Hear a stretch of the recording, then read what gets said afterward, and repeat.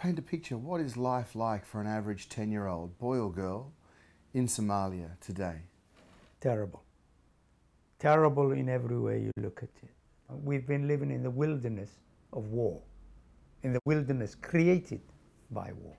But before peace comes on the horizon, it would be ideal if the educational structures are revamped, looked at again, if the secular education that used to exist in Somalia is recreated for the benefit of the entire community, but most especially for the empowerment of women and children.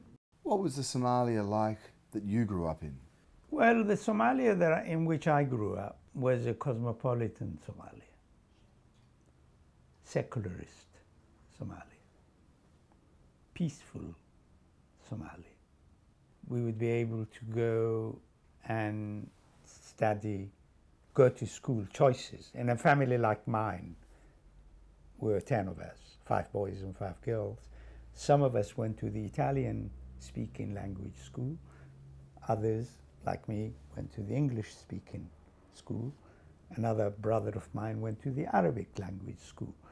By the time we all, you know, were grown, my brothers and sisters spoke something in the region of 15 languages spoken in the house, where there was a certain mutual tolerance of members of the society. How to rescue a generation lost to conflict, lost to hunger?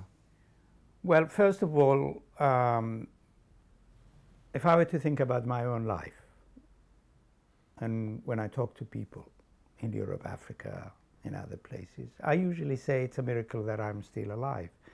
And the reason is because the majority of boys and girls born the same year as I was, 1945, the majority died in infancy from small, you know, um, diseases that could have been eradicated and were not eradicated. So the fact that I have been allowed to live on and to do what I'm doing, to continue writing and to live the, to the age of 66, 67 is a miracle on its own. So my attempt has always been not only to educate myself, because obviously I'm born you know, in a country where people do not much care about women and about children, really, and about children.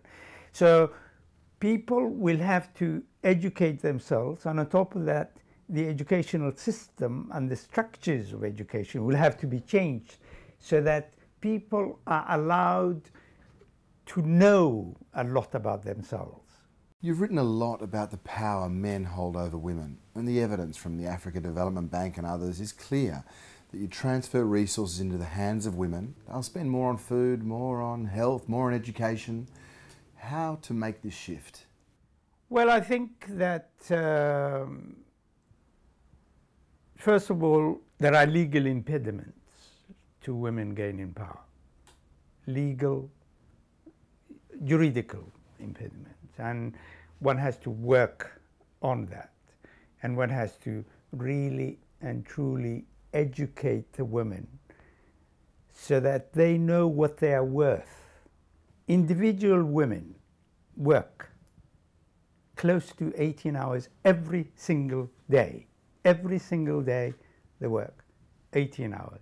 Keeping the family going, putting food on the table, these are the responsibilities that have been left in the hands of the women. And they have done it wonderfully, which is one of the reasons why I often insist that if you actually want peace in Somalia, you must empower more women.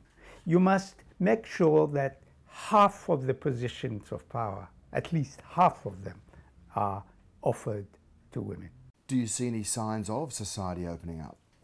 I did not when I was in Somalia, and often I do not. Uh, the only members of the society that are opening up are the middle classes and the educated classes, and this is, you know, a small, uh, um, a minority in the country. You need more opening up. You need more acceptance of some of these challenges, more acceptance of these challenges. Do you feel that novels can change perceptions, change people's perceptions in a way that traditional media can't? They do. Novels take a long time to make their, you know, their influence felt. It takes a long time, and the reason is because, you know, uh, you have first of all the person has to know how to read fiction, and not everybody does, uh, and to garner, you know, the influences and the various other things that are being felt in the novel. But I think the other thing that I do, obviously, is I also write articles. I give talks, I give interviews, and so on and so forth.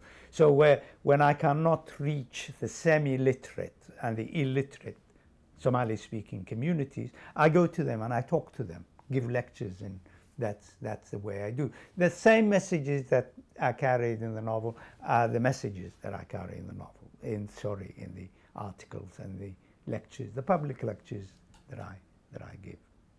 How is your level of positivity, pessimism towards Somalia's future? Well, I was in Somalia until I think about a week ago, and I found that there was most Somalis were peso optimists, pessimistic and at the same time optimistic. In other words, they go to sleep feeling optimistic, and then they get up feeling terribly pessimistic. And the reason is because the situation is, is still not settled. We don't actually know what's going to happen, but one hopes, one hopes that Somalia is out of the woods, so to speak, and that, you know, peace is on the horizon. Nuruddin Farah, thank you very much. Thank you very much. My pleasure. My pleasure.